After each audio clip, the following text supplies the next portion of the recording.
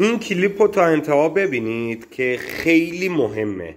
ببینید برای من این ماه فقط سه مورد پیش اومده که پرنده افتاده داخل مایتابه ای که روغن داغ بوده رو گاز ظرفی که قابلمه ای که داخلش برنج داغ بوده و موقع آشپزی خلاصه پرنده افتاده داخل مایتابه یا قابلمه آسیب دیده یا تو آب جوش. ببینید اینو جدی بگیرید. پرنده هاتون هر چی هم دستی باشن. هر چی هم دستی باشن.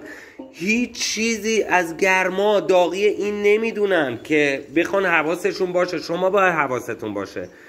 پرنده موقع آشپزی هر چی هم دستی باشه. اینو تاکید می‌کنم. هر چی هم دستی باشه داخل قفس در به قفس بسته.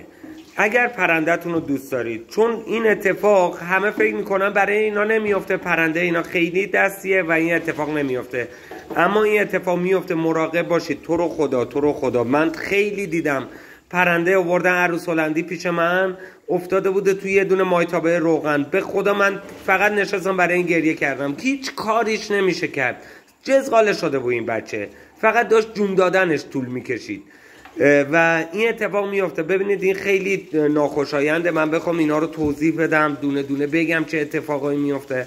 اما همین امروز خب یکی از دوستان که پرندش خیلی دستیه با من صحبت کرد پرندش افتاده بوده تو قابلمه.